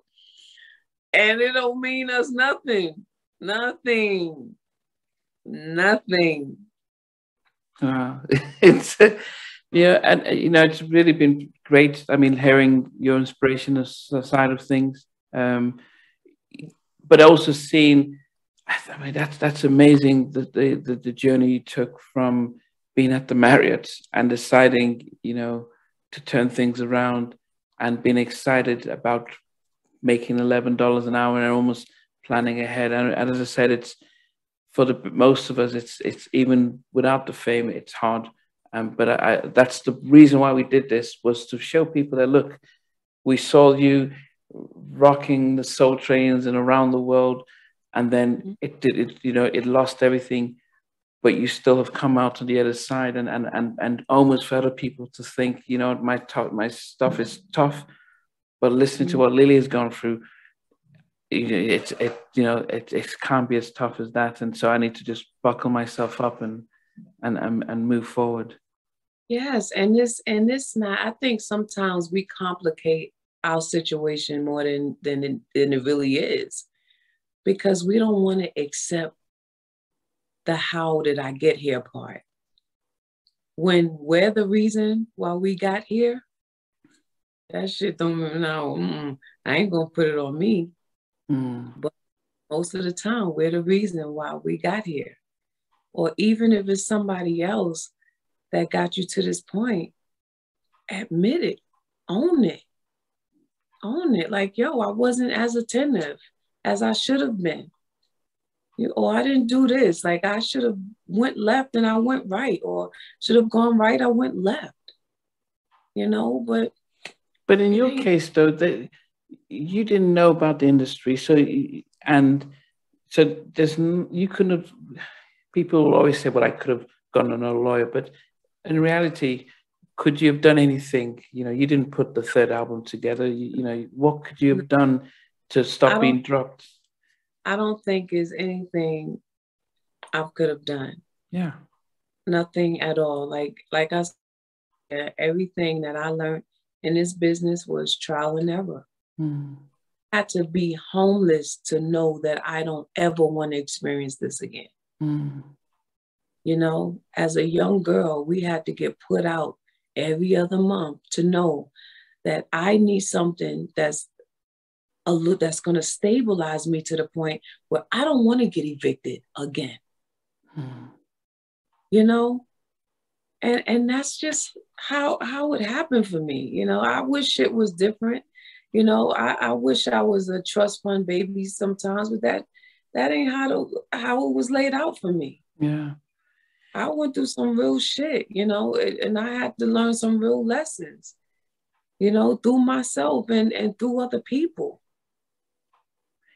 But then, how did you get trust to come back to? Because you you you then have created um, a safety net, which is a mindset of, I'm by doing this nine to five, even with the overtime, I'm able to build a nest, and I, and I can trust that this is this is tangible. But well, then, guess what? It was a lot easier coming back the oh. second because now I knew that I could survive without this. Okay. Once you survive when people tell you, oh, you ain't going, you ain't going to do shit, you ain't going to do nothing. I actually was living a very modest, peaceful life without it. So I'm like, you know, okay. So if we do this again, I get to make a little bit more money and I'm on point now. So I know if something else happens, I can go this way again. Mm. I have, at least I got a pot now. Mm. And I know what to do with the pot. Yeah. See, before I know what to do with the pot. Yeah, yeah, yeah. Barely, barely there. so, so even money and it just started looking different you know, and even today, like I'm a saver. Okay. I'm scared to, to spend money, you know, like I, I can if I want to, but I don't I don't want to. That's not the desire for me yeah. anymore. Yeah. Like, How- I'm and I'm 30 years in a game and not anything to show for it. Mm. Like to, I, I was just telling, you know, a few people the other day we was on this um this three-way call and I was like, you know, it's so sad that a lot of these artists have to work because they have to and not because they want to. We've yeah. been doing it 30 years, ain't got shit to show for it. Yeah. We should all have our homes paid for. Like it, it should why? Why? Why are we still doing this? Because we want we have to, and not because we want to. Yeah. You know, and, and I think that's um the relationship with money is quite different. So a lot of British musicians come from money, so they're not they don't chase money, and actually the the record labels give respect them differently, give them better deals, and you know the, the recent one album they're already multimillionaires because it's but they're not doing it for the money, but the money's there, and I and I think it's a uh, stuff that as, as um, even in Africa, Nigeria and stuff, you know, we're still under that sort of a curse of poverty where it doesn't matter how much you make, you still you still have hardly anything to show for it. But I think generationally, the next generation are, are, are faring better, have a different relationship with money. Um, so like your grandkids now are going to see money differently. They're not going to fear it. They're not going to be. They're gonna they're gonna know it's put it in its place, and then build for the next generation. I think that's the thing that we definitely have to do because I know my kids I'm not going to have look at money the same way say my parents looked at, at, at money. And I think that's the one thing that you've set us a legacy uh, for, mm-hmm. uh, which is important. It, mm-hmm. Did you guys? Did you do the documentary when you came back? Because I know the one that uh, I've seen on on, on YouTube uh, that you, that you guys did. The the not the documentary, but it's like the reality show. Um, uh. was, was that sort of the reunion coming back Oh no, we've been out when we did that. We we got back together in 2005. Oh, okay. Yeah, that was just a part of everything that we just went through. You know, that was just a, another job opportunity. Yeah, we were already together. So coming back now, because as we're wrapping up, because I know you guys, I mean, you're headline headlining festivals. I mean, I, I, saw the stuff you guys did in uh, in in New is in New York. You'd be going to Atlanta, stadiums are full, so everyone's singing along and stuff, and and it's like it's almost you know, and and people rightly celebrate you guys as one of our premier R and B groups um, that have been. Did, does does the touring become like, yep, we're going to just enjoy our touring? Is there any not pressure, but is any desire to record new music, or do you think, well, there's no real point? We just enjoy doing the touring and and and and, and using our catalog. Well, sometimes you you you feel like, um, what's the use of recording music when we're doing what we need to do. They love those older records. They love those records. And sometimes I just think that's what they want. That's what they want to hear. You know, because we've done other records before, but I mean, it was just kind of lukewarm because we was with a label that was smaller than the group that they signed. You know what I mean? We were actually bigger than our label. So they didn't know what to do with us, you know. But um yeah, yeah, sometimes I don't think is a desire anymore. You know what I mean? Mm-hmm. Because you've been doing this for so long and you've been doing it the same way for so long. And the only thing that will make a difference is the money have to change. That's it. That's it. Because now it's time for a lot of 90s artists to get fruits of their labor. Mm you know. And I'm ready for my fruit. I sacrificed a lot for this shit. I'm ready to see some fruit, some real fruit. yeah, but did you think this since the lockdown with Pastor Mike, you guys were on it twice, and Verzuz with Xscape. Do you do you mm-hmm. has that opened wide more doors for you guys? Absolutely, trust me. Like now, it ain't no, it ain't no nothing has slowed down. You know, not all. Like even before we did the Verzuz, like we booked the whole 2020. Wow. And I'm, I kid you not, like, don't get me wrong, like, it, them checks is coming in. you know what I'm saying? But you know, you just feel like you just want to get what what you're worth. Yeah. You know, you you've been doing it forever. It's like, yo, I don't want yours give me what belonged to me. Yeah. It's time for, you know, we we paid some dues. Like we've done a lot. You know, so it's time for us to enjoy the fruits of our labor, as well as many other amazing artists who sacrificed to do this. And um they need to to we need to die peacefully, peacefully, yeah. rich, comfortable. Yeah. And you know, we need it. It's so crazy because I look at these other artists and you get like a Katy Perry who's worth $300 million. yeah. Yo, that shit bothers me. I'm like, well, how? Yeah. So you yeah, know. no, I mean we have uh, Dua, Dua Lipa, Ed Sheeran, Adele. You know, they come out with one or two albums, and then they're all the multimillionaires and and you oh, know. Oh yeah. Yeah, and just, yeah. yeah, same record labels, and you're wondering, well, do they have uh, different deals in place than uh, than I our? Just, I just think they handle African American artists a little different than they handle the other artists. Yeah and we don't fight for shit. We need to start fighting for stuff. Yeah. You know. Did, would you ever do what Ashanti was doing and and um, Taylor Taylor Taylor Swift, which is re-record? Absolutely. That's that's the smart thing to do. You should own your masters. I think that's a, an amazing move because everybody's making money off of you. So you own your masters, you re-record your songs, and people will buy the re-recorded versions, and hoping you get it as close to the original as possible. And then, you know, that's money in your pocket. That's money in the bank. Would you guys ever consider doing that? Oh, we thought you. I can't tell you everything. you just digging, ain't you? No, no, no, no, no, no. But it's it's some. Yeah. Absolutely, is is the smart thing to do. Okay. Yeah. It's the smart thing to do. Yeah.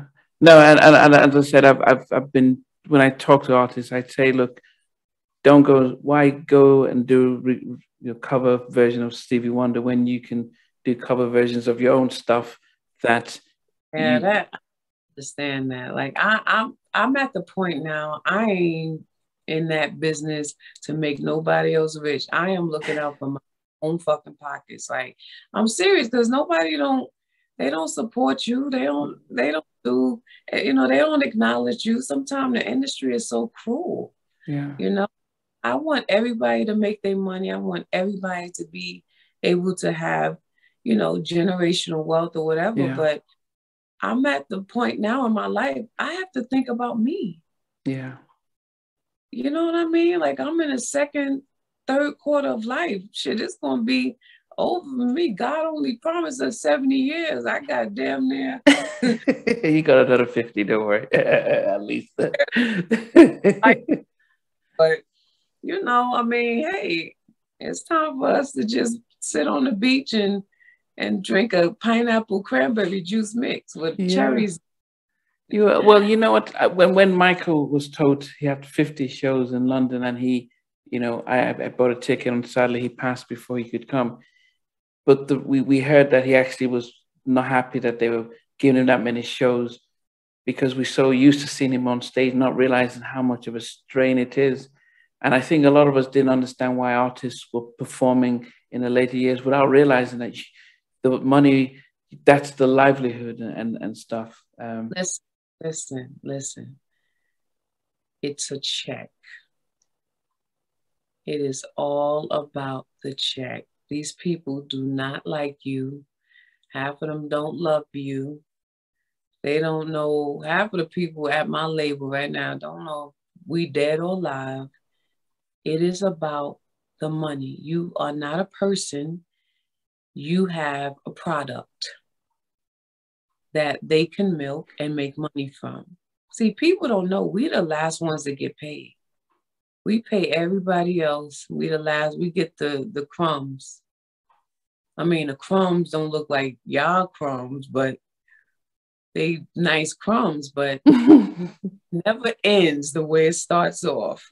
Wow. wow. you know. Wow. Uh, I think as we as we as we wrap up, because I know we've been doing this for a while, but um, what can we expect in 2022? Because I know that you've got the the jazz festival. Is that in uh, is that the one in New Orleans or? Oh, that's the one in Miami. Oh, Miami. Um, you, yeah. so you got a jazz festival in Miami with with her and Miss Miss uh, M, M, uh, Miss Mary J, which which is such an amazing billing. I mean, couldn't how did you what? So excited about that. I am, you know, I'm a woman that loves a good story.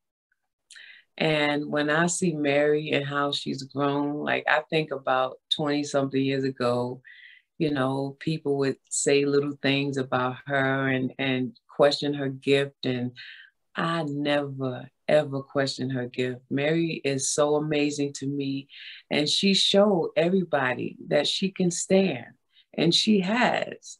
So she's an inspiration to me. And with her as well, like I'm learning a lot from a lot of these younger artists. Mm. You know? And that's the truth. So I'm excited about everything that's going on. That's a big show. I mean, what do you, do you guys have any other things planned for 2022 that you want to share? I mean, concerts or tours? Well, we have um, just know that it's our 30th anniversary. Whoa. So all I can say is that you stay tuned. Okay. Okay. Are we going to see you in the UK? Or because I mean, I'm, I'm here in the UK, the US.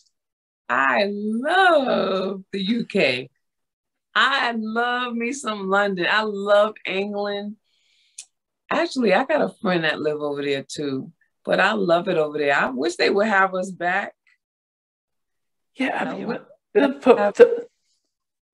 uh, I mean, we, we, we're struggling with COVID now, but I know in the summer, you know, it's it's it's the I I, I, I don't dabble with the promotion side, but I, I would I'm sure you guys are always headline um, oh, if, oh yeah, most of the time, yeah.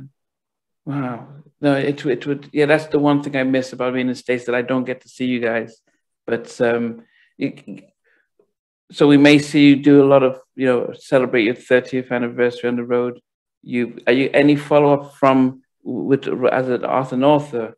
Um, are you going to do any other writing? Absolutely, writing has become really special to me. Like I said, this is my first offering right here. Um, I regret the day I lost my virginity. You are not your past. And this was like the first book that I ever wrote. So I'm working on um, an erotica book right now. okay. like it's it sounds crazy, but it's really like, you know, because women don't really talk about sexual things without feeling uncomfortable. And the name of the, the audio book is The Many Faces of Sister Hot Pussy. So it, it's a, a, a collage of a whole lot of different stories and situations that women face that are sexual or not. Like it could be a thought, it could be something that they acted on. But these are professional women who just tap into their sexuality. And um, I don't know why we're so afraid to talk about sex. You know what I'm saying? We're so afraid and we think people are going to look at us some type of way, but that's not what it is. But so I have an audio erotica book coming like ASAP, and it's called The Many Faces of Sister Hot Pussy. And then I'm going to start writing my book based on my life during the quarantine. Wow. Yeah. So I love this writing. I love owning my shit. I I just love it. I yeah. enjoy it. And also, um, I want to do a transitional home in honor of my mom, and I put that out there before. And it's called Margaret's Linen Room. That was my mom's name. And um, for single mothers, single mothers, and um, single parents. And I just want to do something for women that's yeah. going to, you know, because you have a lot of women who are married to men, and when they break up with the man, they're in the street, they're so I want to provide a transitional home for them so that they can have some type of comfort and, and learn the skills that they need to learn to survive. Wow. Yeah. Wow. I mean, I, I know that um, um, your website has has the book and also has some of your merchandise as well. Mm-hmm. So when we're putting this out, we will definitely put the link to that so people can click yes, on. Yes, rebranding. It's called Cutie in a Hoodie, and that was inspired because I'm a girl that loves a hoodie. Like I think hoodies are fly. Yeah. And also, you know, women are now dressing hoodies up and down. Like I could rock this with some leggings and some pumps now, you know. so I just felt like there is always something that you can, like a conversation you can create without even opening your mouth. And and I, I love if I saw somebody with cutie and a hoodie on, like it would make me smile because I would feel beautiful. Yeah. So that was the whole, you know, the motivation to do that line. Okay. So, yeah. Yeah, now I'll make sure that that that that, that link is. I, I, guess the question is, what's what are pumps? Because I always remember BBD saying, "Don't forget the pumps." Heel shoes, stilettos. Oh, so that's wow. Why would they call them pumps? Say, I would, yeah, okay. That's all. Oh, okay, okay. I was like, okay, pumps. Don't forget the pump. Okay, so you oh, so you mean like high heels? Okay. So they we call them pumps.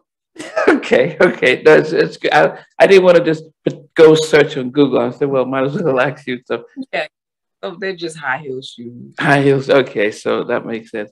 I always end my interviews by asking my guests that if you were stuck in an elevator and it says, look, it will take about three hours, but while we're waiting, we'll put a movie for you. What movie would you request? Oh man. Ah, a move. Oh, Sparkle. Oh, okay. Which one though? The original. Oh, the original one. Okay. Yes, because that is so many messages in that story. Hmm. So it definitely, um, definitely be Sparkle. Okay. And it's one. Seen it? Yeah, no, no, I um, yeah, I've seen, I've, it, but it's been a long time, um, so I wouldn't have. And this is before I loved music, so I've seen it. The original Sparkle, but it taught me a lot. That movie taught me a lot. That it, and it and it taught me a lot about life because sometimes people have to die for somebody else to blossom. Yeah. And that is hands down one of my favorite movies of all time. Wow. Wow. What would be your favorite song of all time? Oh my gosh. Favorite song? Really? You want to do this to me? Yeah, I asked everybody about the favorite song. oh my gosh. Favorite song. Mm. Now, well, it, it okay, I have to say this. A gospel song that I love that actually changed my life was this song by Dorinda Clark Cole, one of the Clark sisters, and it's called I'm Still Here.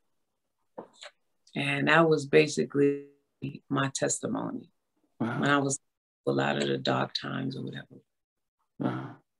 Always refer to that song when I feel like I'm I'm going into a certain space and, and that song kind of give me reassurance that that God is is who he is all the time. Yeah. Yeah. But that it would definitely be that song. Wow. And no, no, before I used to ask if you were stuck in a, if the elevator about to play the movie, what song would you put? But it, I just realized it's best to ask you what your favorite song is and stuff.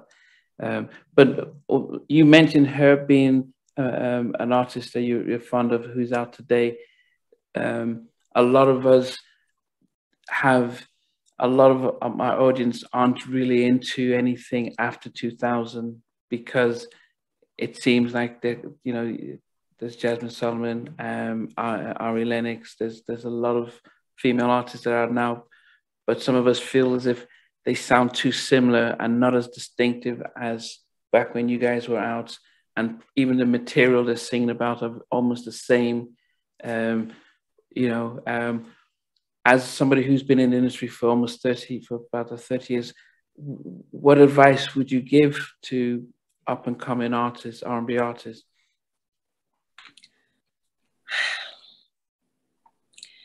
One piece of important advice that I would definitely give them, like I run into great, amazing singers all the time.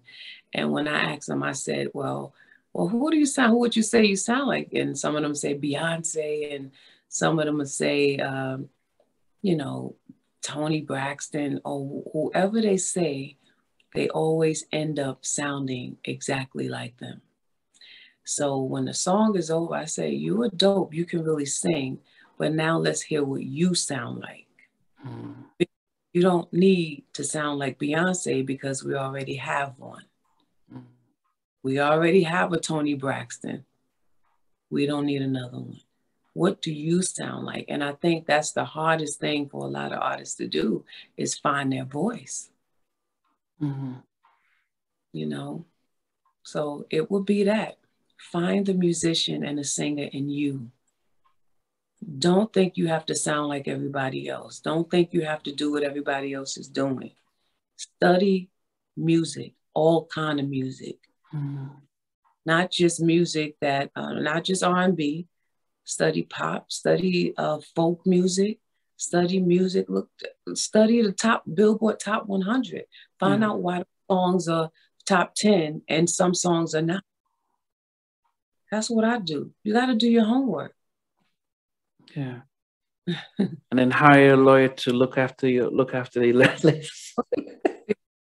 Contract. Do not get too happy about nothing. Don't get happy about the popping of the champagne. Yeah, it's exciting because you everybody want to be the one that's chosen. Mm. But there, this is called show business. Yeah. And actually it should be business show because the business always gonna come first. Mm. And business in this business is not always fair. Yeah. So yeah.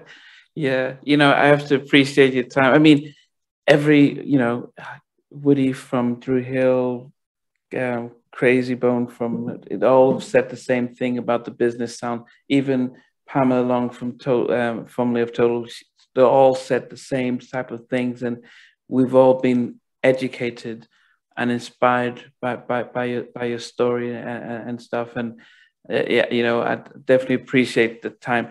You know, it was probably spent almost two more than two hours, and I know you shouted out ninety minutes. I'm gonna cut you off because I got to do another. um I got to judge something on Clubhouse tonight. Okay, no, no. As I said, I, I that's yeah, that, but it, but it, has been it's been it's been it's been great, and I know that we, as I said, um, we'll make sure everyone understands sees your book um, because the title might be, you know, the title was really, really took my took my eye, but but hearing your story, it's good that we can get more in depth, um, and hopefully, Lifetime will will definitely put something together for you guys and stuff. But you know, I be thank you for being being being such a sport, but also being a supporter. Because as I said, I've I've seen you seen mm-hmm. you looking at a few of the shows and, and stuff. So I appreciate. I do, I do, because you know I'm fans of a lot of people that you interview, so I be wanting to know about them too. you know, I be wanting to know, but um, yeah, but keep keep doing what you're doing, and we watching you. We see what you're doing. Oh, I appreciate it. Doing, you know, keeping this timeless music alive and I love it. I really like it. And that's why I, I gave you the interview. You were very patient. and I reached out to you about something and you didn't even question it. You took care of it immediately. So I, I, I gave you everything that you wanted and more. Thanks for watching. Please remember to subscribe to the channel, but most importantly, to press the notification bell so that you can be notified when we do have a new interview. Loads to come, but thanks a lot for watching.